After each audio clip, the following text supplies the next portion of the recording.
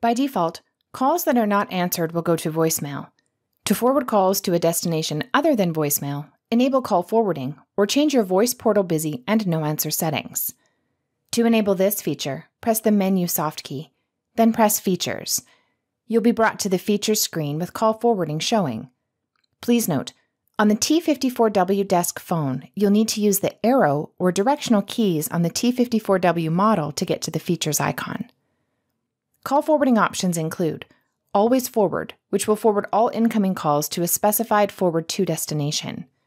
Busy Forward, which will forward calls when your line is busy. No Answer Forward, which will forward when you are on DND or do not answer the line. Select the call forwarding you wish to enable. Then, use the touchscreen or press the Switch soft key to switch the setting to on and enter the phone number to which to forward calls. Press the Save soft key when you're done. You'll see the forwarding indicator on the home screen. Please note, when configuring no answer forwarding, you must also select the number of seconds before the call is forwarded.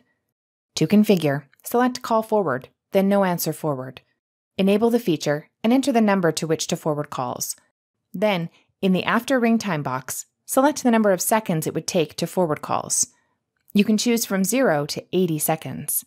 Make your selection and select the Save soft key when you're done.